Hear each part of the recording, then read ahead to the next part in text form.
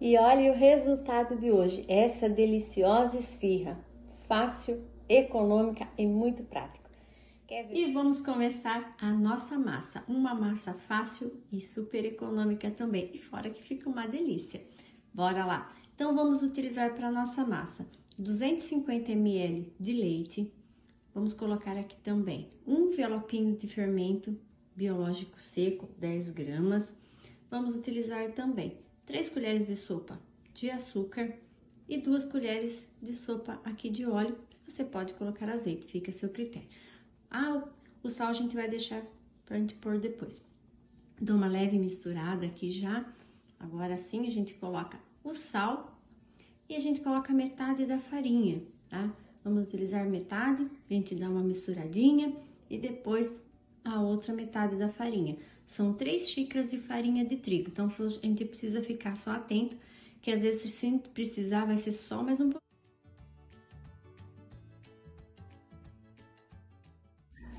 E agora, pessoal, vamos usar a outra metade da farinha, então em duas etapas que eu estou fazendo aqui. Vou sovar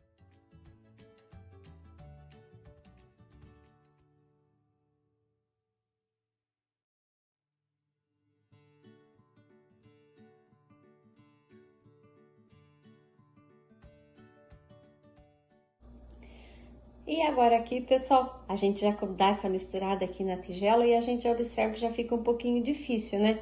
Vou ajeitar aqui, mas já vou transferir também para a bancada, que vai facilitar aqui. Então, vou transferir aqui para minha mesa, que eu já deixei ajeitadinha e limpa, para me sovar aqui. E aqui a gente começa aqui a juntar a nossa massa. Vocês percebem que ela fica, ali, fica meio liguentinha, mas a gente vai sovando e a, e a massa vai se estruturando do jeitinho que a gente vai sovando.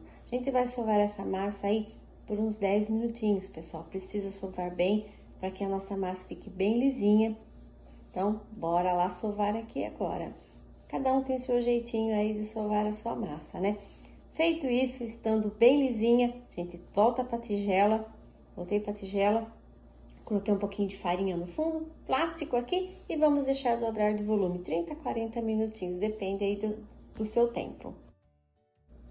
E agora aqui vamos seguir fazendo a carne. Pessoal, eu vou fazer a carne refogada, mas você pode fazer daquele outro jeito que o pessoal tempera e coloca meio suco de um limão. Também fica uma delícia. Aqui em casa preferem refogado. Então, bora lá. Aqui na panela já tem 3 colheres de sopa de óleo, que eu vou aqui já colocar meia cebola picadinha, vou deixar ela refogar muito bem. Refogou um dentinho de alho, picadinho também, você pode pôr mais Deixa eu dar outra refogadinha. E agora aqui, pessoal, a gente já acrescenta meio quilo de carne moída e vamos aqui misturar com o nosso refogado, né?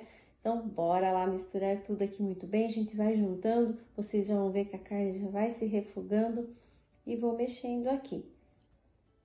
Nesse ponto aqui.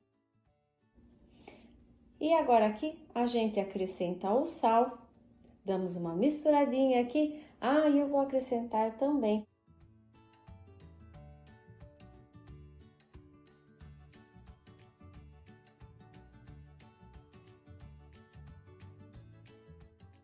também aqui a nossa receita pimenta do reino, mas você pode aí acrescentar o que você gosta.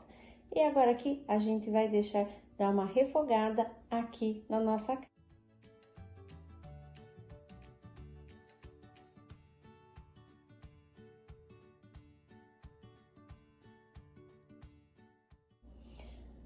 refogada aqui a nossa carne. Agora a gente vai acrescentar. Pessoal, vocês viram que eu não deixei a nossa carne seca, tá? Então, assim, ela tem aí um líquido ainda, mas ela está refogada, porém eu não deixei assim, ela fritar totalmente, vamos falar assim, né? Agora acrescento aqui o tomate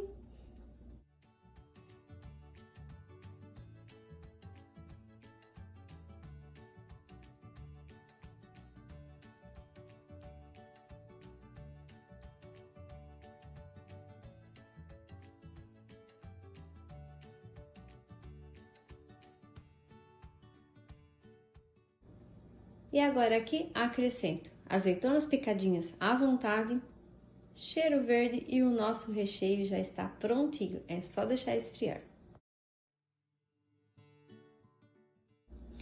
E olha como a nossa massa cresceu. Agora eu vou tirar um pouquinho do ar dela.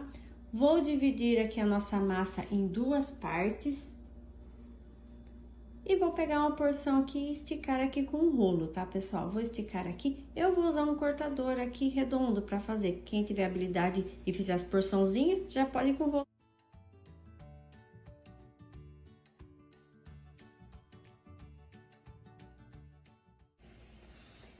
E aqui coloco uma porção, ah, tá até meio exagerada de carne. Faço, começo aqui dobrando as pontinhas e já vou apertando.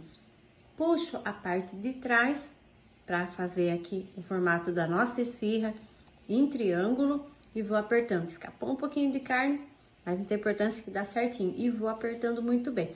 E olha que linda que ficou aqui a nossa esfirra. Bem apertadinha para que a hora que for pro forno, ela não abriu.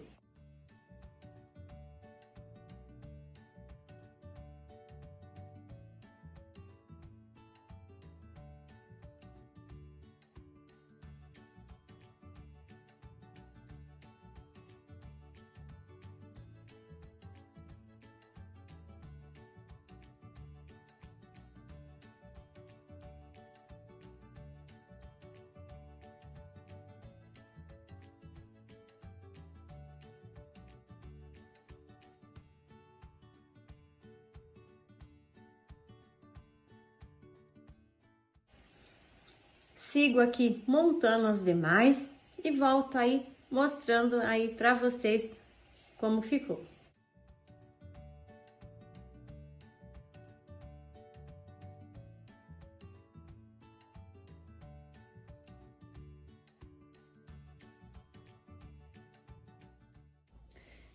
E aqui eu untei, enfarinhei aqui a nossa forma, coloquei todas as esfirras voltadinha para baixo, onde a gente apertou, Vou pincelar um ovo aqui em todas, tá? Eu só bati um ovo e estou pincelando aqui e dessa forma que a gente vai fazer em todas. Renderam 20 unidades, viu, pessoal? Forno pré-aquecido a 180 graus, vai ficar aí em torno, depende do seu forno, né? De 30 minutinhos, então fiquem de olho.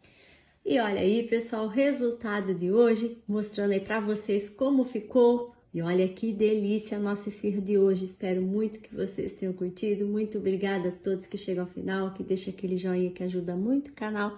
Fiquem com Deus e até um próximo vídeo, pessoal.